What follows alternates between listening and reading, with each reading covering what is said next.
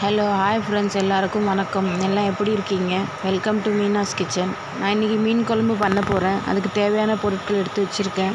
வெங்காயம் பூண்டு தக்காளி கொத்தமல்லி கருவேப்பிலை எடுத்து வச்சுருக்கேன். அரை அரை மூடி தேங்காய் ஒரு ஸ்பூன் கல் உப்பு எடுத்து வச்சுருக்கேன்.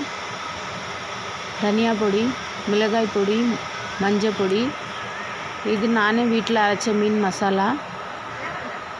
உங்களுக்கு தேவைன்னா சொல்லுங்கள் நான் அது கொடுக்குறேன் உங்களுக்கு என்னென்ன பொருட்கள்னு. நான் மீன் குழம்புல இன்னைக்கு புளி போடல மாங்காய் போடுறேன். ஒரு மாங்காய் எடுத்து வச்சுருக்கேன் சின்ன சைஸ் மாங்காய். மசாலா அரைச்சிக்கலாம். பூண்டு வெங்காயம். மிக்சியில் போட்டு நல்லா அரைச்சிக்கலாம். நைஸாக அரைச்சிக்கலாம். சட்டி சூடாகி வரட்டும். தேவையான அளவு எண்ணெய் ஊற்றிக்கலாம்.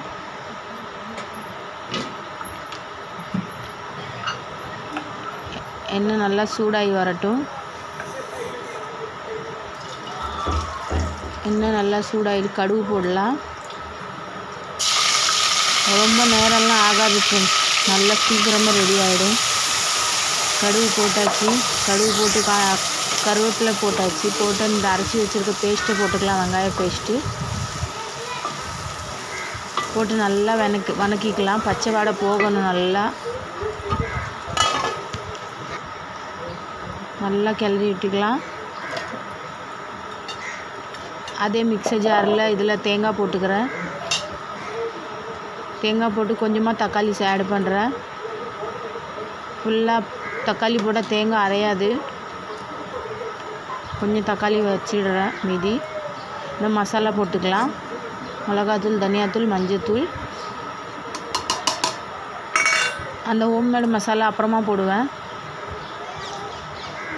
மசாலா நானே ரெடி பண்ணேன் வீட்டில் அதையும் அரைச்சிக்கலாம் நல்லா. வெங்காயம் நடு நடுவில் வெங்காயம் கிண்டி விட்டுடலாம் நல்லா பச்சை வடை போகணும். இங்கே சாதம் வெந்துட்டுருக்கு இங்கே நல்லா அந்த வெங்காயம் நல்லா பச்சை வடை போகணும். ரொம்ப கொஞ்சம் டைம் எடுக்கும் ஃப்ரெண்ட்ஸ் நல்லா கொஞ்சம் வணக்கிக்கோங்க. அதில் வணக்குனா தான் நம்மளுக்கு ருசி இருக்கும். இல்லைன்னா பச்சை வடை வரும் நம்மளுக்கு ருசியாக இருக்காது குழம்பு. மீதம் வச்சுருந்த தக்காளி சேர்த்துக்கிறேன். தேங்காய் நல்லா கொஞ்சம் நைஸ் ஆனதுக்கப்புறம் தக்காளி சேர்த்துக்கலாம். தக்காளி கொஞ்சம் கொஞ்சமாக போட்டு அரைச்சிக்கலாம். நல்லா நைஸாக அரைக்கணும். கொஞ்சம் கூட மொத்த மொத்தமாக இருக்கக்கூடாது அதில். நல்லா அரைச்சிக்கோங்க. நல்லா அரைக்கலாம்.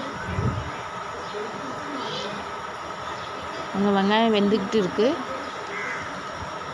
வெங்காயத்தில் பச்சை வடை நல்லா போகணும். கொஞ்சம் கலர் மாறிடுச்சு பாருங்கள் இன்னும் கொஞ்சம் கலர் மாறணும். நல்லா வணக்கணும்.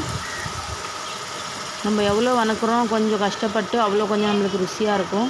இந்த மசாலா நான் வீட்டில் ரெடி பண்ணது அதை சேர்த்துக்கிற ஒரு ஸ்பூன். மசாலா சேர்த்து நல்லா வணக்கிக்கலாம் திரும்பவும். வெங்காயம் கலர் மாறுது பாருங்கள்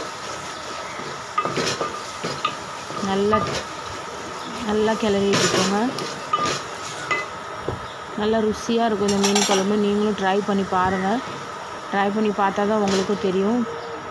வீடியோ ஸ்கிப் பண்ணாமல் பாருங்கள் ஃப்ரெண்ட்ஸ் அந்த அரைச்சி வச்ச மசாலா ஊற்றிக்கிறேன் அதில் மிக்ஸி கழுவி தண்ணி ஊற்றிக்கலாம் தேங்காய் தக்காளி மிளகாத்தூள் தனியாத்தூள் மஞ்சள் பொடி. எல்லாம் சேர்த்து நல்லா அரைச்சி வச்சிருந்தோம்ல அந்த பேஸ்ட் இது.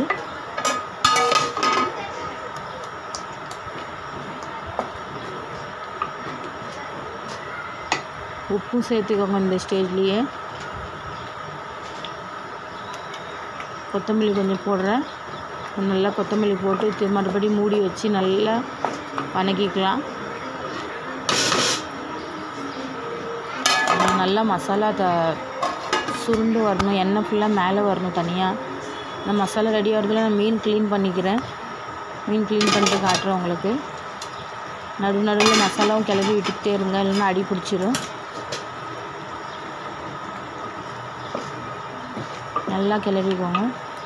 நம்மளுக்கு மசாலா ரெடி ஆகிடுச்சு நல்லாவே தெரிஞ்சிடும் நல்லா எண்ணெய் தனியாக பிரிஞ்சு வரும். மறுபடியும் டக்குன்னு போட்டு மூடி வைக்கிறேன். தேவையான அளவு எண்ணெய் ஊத் தண்ணி ஊற்றிக்கலாம் ரொம்பவும் தண்ணி வச்சாலும் நல்லா இருக்காது. ஓரளவுக்கு தண்ணி வச்சுக்கலாம். மீன் க்ளீன் பண்ணியாச்சு. பாருங்கள் ஃப்ரெண்ட்ஸ் ரவை கூட இது இல்லை. நல்லா சுத்தமாக பண்ணியிருக்கோம் பாருங்கள் அந்த செதில்லாம் நல்லா எடுக்கணும். செதில் நல்லா எடுத்து நல்லா க்ளீன் பண்ணணும் ஃப்ரெண்ட்ஸ் மீன் குழம்பு நல்லா கொதிக்குது. மாங்காய் ஆட் பண்ணுறேன் குழம்பு ஃபுல்லாக ரெடி ஆனதுக்கப்புறம் கடைசியில் மாங்காய் போடணும். மாங்காய் ஆட் பண்ணியாச்சு. கொஞ்சம் கிளறி விட்டுக்கலாம். நல்லா கிளறி விட்டுக்கோங்க. அப்புறம் மீன் போட்டுக்கிறேன். மீன் போட்டு கேஸ் சிம்லேயே வைக்கணும் ஃப்ரெண்ட்ஸ் ரொம்ப ஹையில் வைக்கக்கூடாது.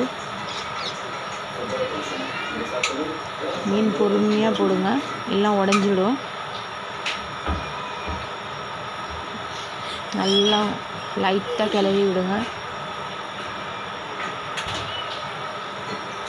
நல்லா கிளறி நம்ம மூடி போட்டு கொஞ்சமாக த பாதி மூடி வச்சுருவோம்.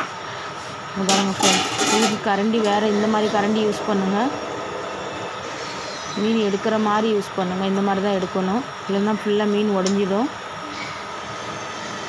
எல்லாம் நல்லா வெந்துடுச்சு மீன் மாங்காய் எல்லாம் வெந்துடுச்சு பாருங்கள் ஃப்ரெண்ட்ஸ் நல்லா சிம் கேஸ்லேயும் இருக்கும் நான் பிளேட்டிங் பண்ணுறேன் நம்ம எடுத்து வச்சுக்கலாம் கொஞ்சம்.